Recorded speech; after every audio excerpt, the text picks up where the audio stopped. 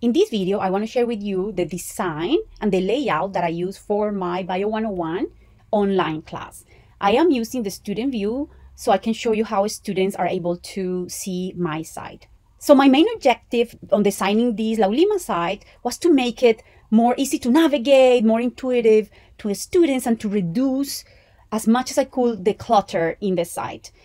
And I try to be very consistent and I try to provide the students with a well-paced access to the class content. In order to achieve this objective, I have taken several steps. First, I have divided the class content into weekly lessons. So I used to have all of those lessons here on the left menu of Laulima, but these made the site look very cluttered and busy. So I decided instead to group all the lessons into a single page, which I call weekly lessons. And here I use an expandable accordion style. When students click on it, it expands and then they can select the corresponding lesson. I label each lesson with the corresponding week and the topic to make it easier for students to find the lesson. To provide the students with a more paced experience, each lesson only opens in the corresponding week. So for example, week two will only be available on week two, uh, week three will only be available on week three, and so on. Each lesson has a consistent and sequential layout. After trying different templates, I decided to use white background with black font for all my lessons. To provide more accessibility and increased readability, I only use font that is larger than 14 points. And then I have used the different text formats like headlines and normal text. This facilitates the reading with like screen readers. For the organization of the lesson content, I really strive for consistency. So all my lessons have the same components. They all have a title that has the corresponding week and the topic a specific list of the learning outcomes, which are linked with the class learning outcomes. This is followed by an interactive checklist, which allows a student to see all the activities that they need to complete each week and they can keep track of, of their progress. This allows them to manage better their time. After this, I have the learning materials. Before, I used to have all the learning materials here on this page, and this made the Laulima site looked super busy and it was like harder to navigate because it was like too long. So I decided to have all my learning materials on a Google site. And this Google site is accessible through a descriptive hyperlink. The learning materials I offer are of different natures. So usually there is a link for the different readings that they need to complete. In this case, this is for the open access textbook that we are using in the class. I also offered them other types of simulations and other types of activities that they can access through these links.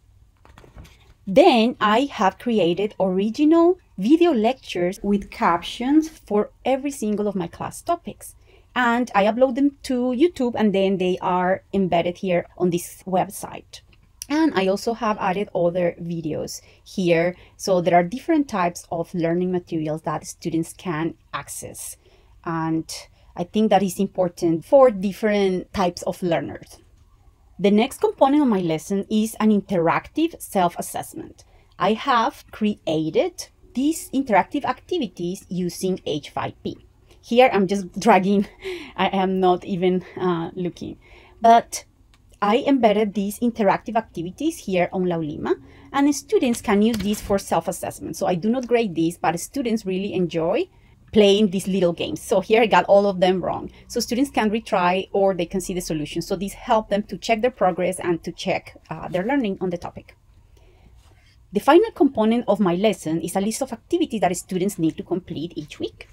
And in this list, I include the corresponding deadline so that students know when they need to complete each one of them. Each one of the activities is provided as a descriptive hyperlink. So it is easy for students to access them without having to go around Laulima looking for places to submit their work. They can just click here and they will be taken directly to the place that they need to uh, do their submission or they take him to other places if I'm using an external website, for example. So I use different tools, different ones in Laulima like quizzes or forums or Google assignments, but I also use some external tools like Flipgrid or Google Forms or Quizlet or Kahoot. And sometimes I have experimented embedding some of those here directly on Laulima, but it made the site look more busy. So I decided that having these descriptive hyperlinks looks cleaner and is easier to navigate for the students. Finally, besides having a deadline for the activity indicated here, I also use the announcement tool to clearly communicate the instructions to students. Every Monday morning, students get an email that has a very short introduction to the topic, and then it has a list of activities that they need to complete that week that also has the corresponding deadline. And then I also include relevant information for that week. Other tools that I have used in the design of my site include adding web content to Laulima. So for example, I have added here the textbook so that students can have access to the textbook directly here uh, on Laulima. Or for example, the syllabus is a Google document that they can access directly from Laulima. So I think this helps the students to access everything from here. So it makes the class easier to navigate. And I also provide a tutorial of how to navigate Laulima on week one. So far, I have received very positive feedback from my students regarding the design of my site. I have not received any emails asking where to find things on Laulima where to submit things. And I think this is a good sign. They are being able to find everything they need and they are being able to navigate the site without any issues. So I think they have everything they need to successfully complete these online tasks. Thank you so much for your time and please let me know if you have any questions.